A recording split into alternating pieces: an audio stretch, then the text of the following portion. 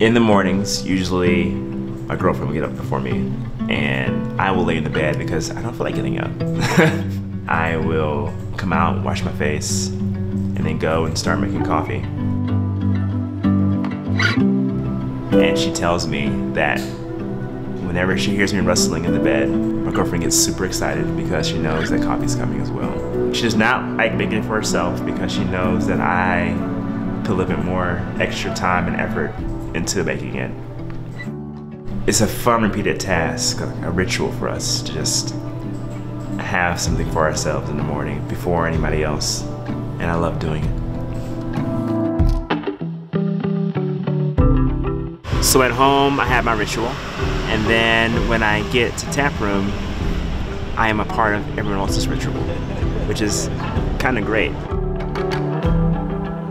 I'm a barista and the events guy. I've worked here for four years. Four years, I think. I lost count. I usually work the noon to seven shift. We don't do drip in the afternoons, so I like to just take a little drip for myself that's left over and to see how it went from the morning. Dial in the coffee, make sure it tastes right for the espresso. Look at the shelf and see what coffees are selling or not selling. Yeah, and then get, get, get busy. the coffee culture, when I first started and first looked into coffee, was very intimidating. Not many minorities in general, but I was pretty determined to just keep at it. Now it's changed a ton, and I feel like Taproom was one of the few places that was welcoming to me. I like how coffee can showcase a place we've never been to before.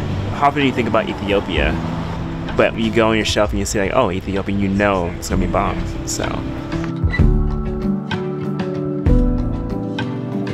I think sometimes I feel a little like a fraud in coffee because I don't know a ton and maybe I make a mistake here and there.